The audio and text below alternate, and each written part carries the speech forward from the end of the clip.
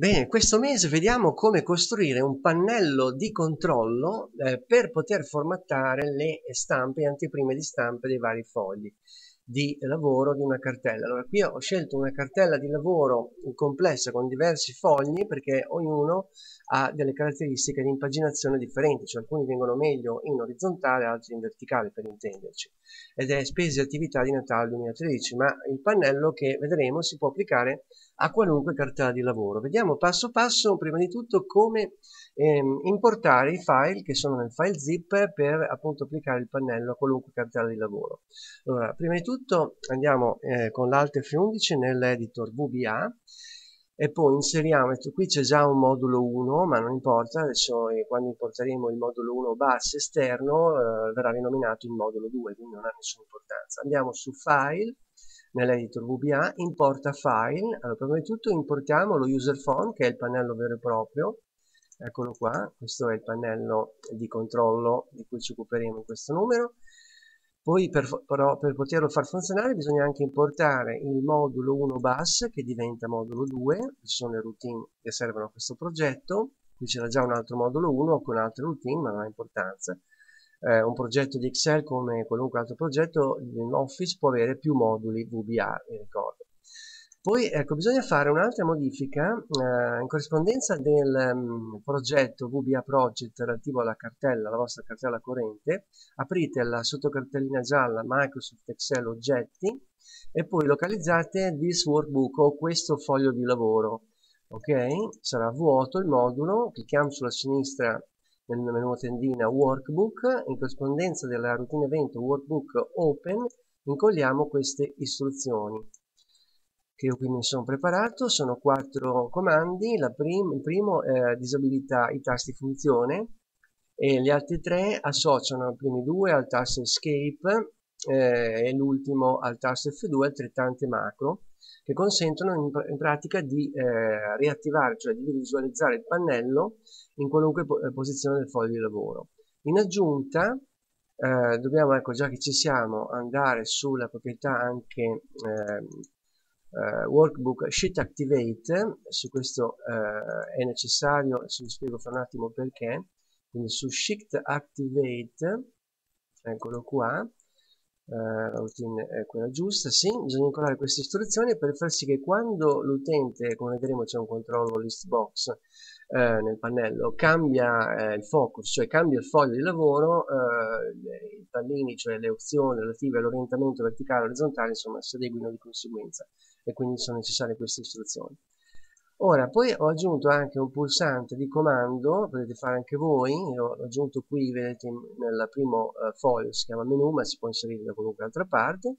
Assegniamo la macro show form, che è quella che visualizza il, uh, il nostro pannello. Ok, siamo pronti, salviamo, per sicurezza uh, dovrebbe essere già a posto, no, chiudiamo e riapriamo perché così siamo sicuri che si attiva la, la um, le macro per la gestione dei file, eh, dei, cioè dei tasti funzione. Okay, vediamo eh, l'F2 se funziona, esatto, funziona. Eh, stampe, ok, quindi vedete questo è il nostro pannello, allora ci consente di navigare eh, agevolmente cliccando sul fogli, questi ehm, gli elementi del controllo eh, casella mh, di riepilogo o list box che sta in alto a sinistra visualizza solo i fogli di lavoro che contengono eh, celle non vuote, eh? quindi se avete un foglio vuoto non viene caricato quindi il controllo. E vedete che ogni volta che io passo da un foglio all'altro, eh, verticale e orizzontale cambiano, ad esempio vedete il menu è impostato su orizzontale, queste sono le impostazioni del, eh, dell'oggetto page setup o metodo page setup, anzi no, è un oggetto perché ha delle, una serie di proprietà poi eh, diciamo sotto di lui eh.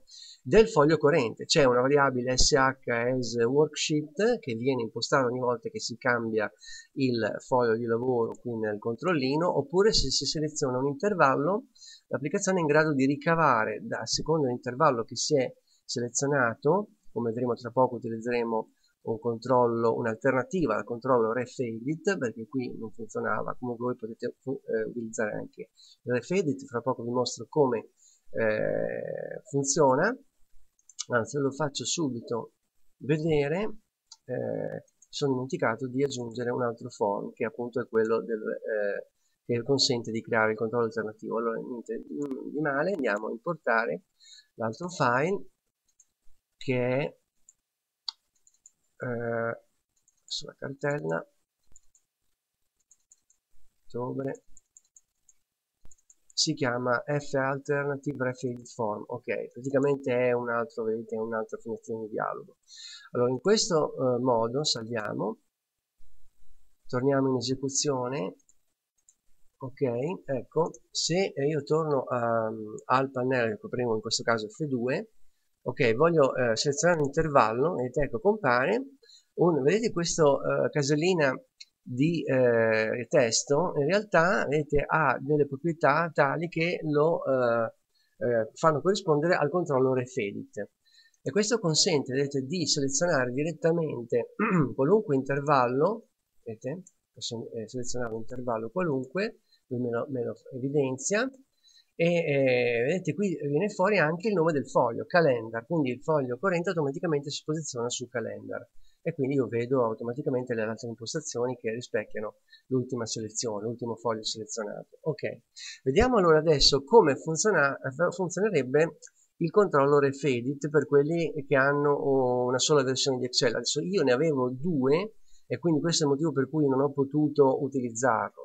Cioè, o meglio, lo vedo nel, andiamo nel Visual Basic, lo vedo nella casellina degli strumenti, se io abilito la casellina degli strumenti, scusate, strumenti sono, eh, non sono visibili al momento perché devo uscire da qualche eh, form eh, dovrebbe essere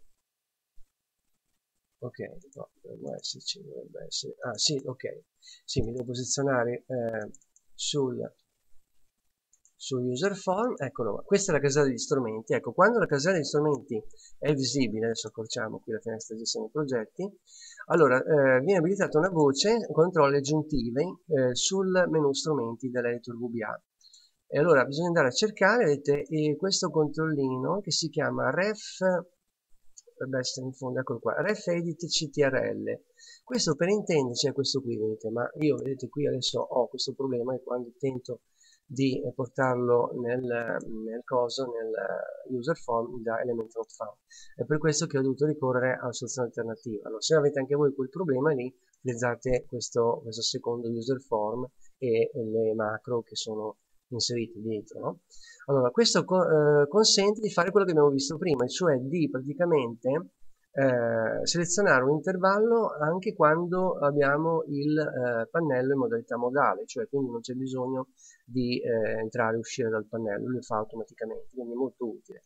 Quindi supponiamo per esempio, non so, adesso apriamo il pannello, eh, ci posizioniamo, non so, ecco, su dinner plan, facciamo selezione intervallo, vedete, dinner plan P30, faccio clic su questo pulsantino a destra, e vedete, posso, eh, adesso lascio il focus da questa casellina e vado direttamente, vedete, posso cliccare addirittura quello posso cambiare anche foglio, questo è molto interessante, e per esempio eh, selezionare una zona, vedete, determinata, un intervallo qualunque di celle, e vedete che il controllino mi rispecchia automaticamente quello che ho fatto con il mouse, mi fa vedere dinner plan E10 L21.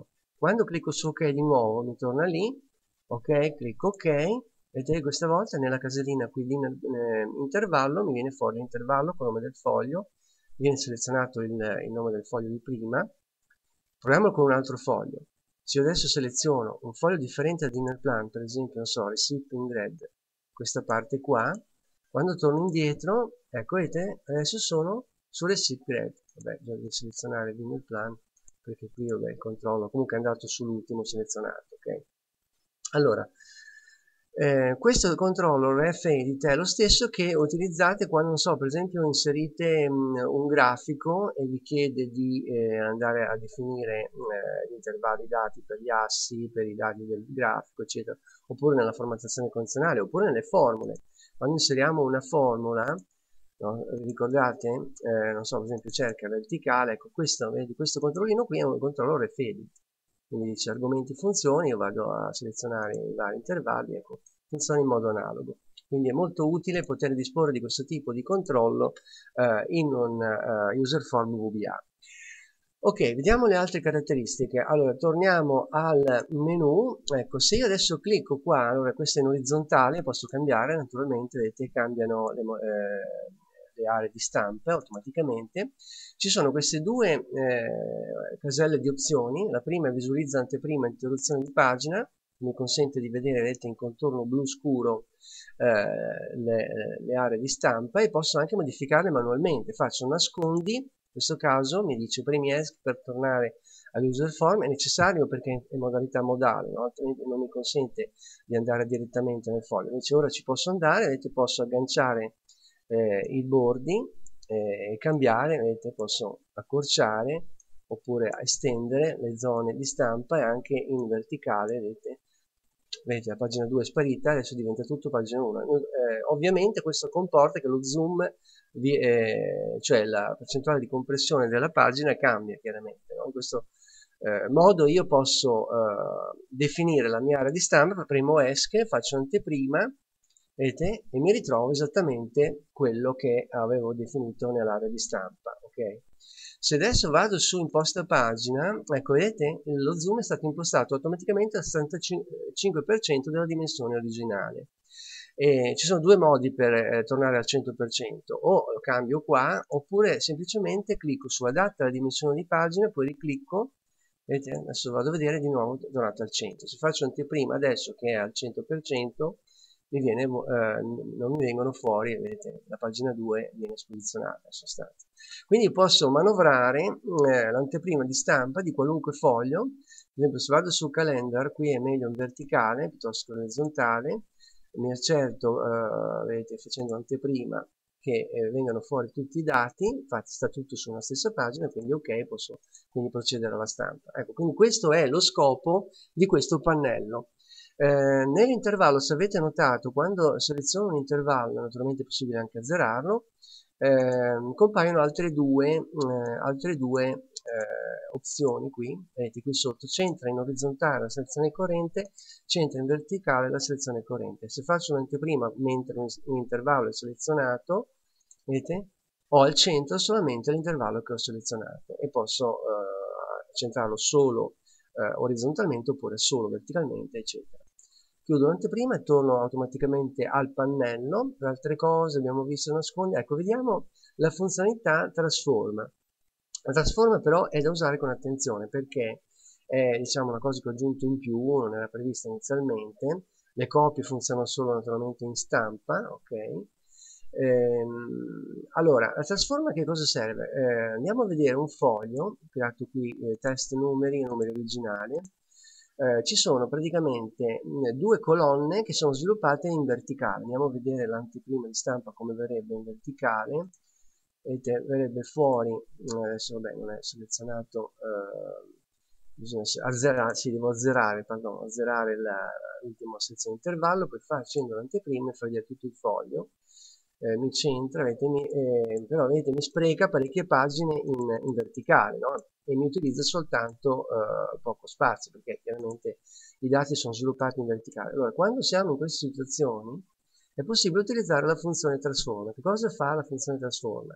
Lo vediamo passo passo, mi dice vuoi ricopiare in orizzontale le celle di un intervallo di colonne ridondanti in senso verticale? Se faccio sì, per quello che utilizzare con attenzione, perché mi va a modificare le, eh, i dati nel foglio corrente, quindi è sempre bene fare una copia di backup prima di utilizzare questa funzione, io ce l'ho perché si chiama numeri originali. Allora andiamo a fare sì, selezionare una o più colonne a partire da sinistra, in questo caso è che si attiva automaticamente il controllo refedit alternativo, io vado a selezionare stavolta semplicemente le due colonne A e B, quindi l'intervallo è AB generico, clicco ok e parte della routine. Vedete, il risultato qual è?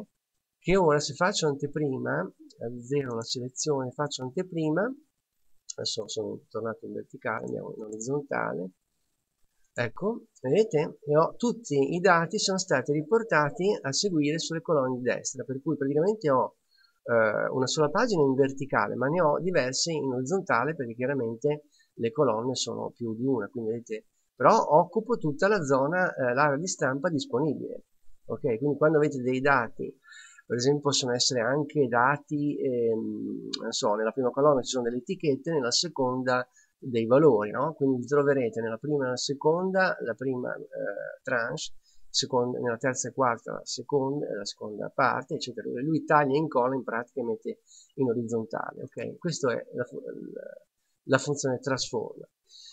Direi che per quanto riguarda il, eh, il progetto di questo mese ci fermiamo qui. Allora, per quanto riguarda il codice VBA, vediamo quali sono le parti più importanti, le abbiamo viste importando i moduli. Eh, eh, direi che sì, non vale la pena di addentrarci, tranne che rimandiamo un altro video, per esempio alcune tecniche particolari, eh, come al solito, insomma. Ecco. Ci fermiamo qui.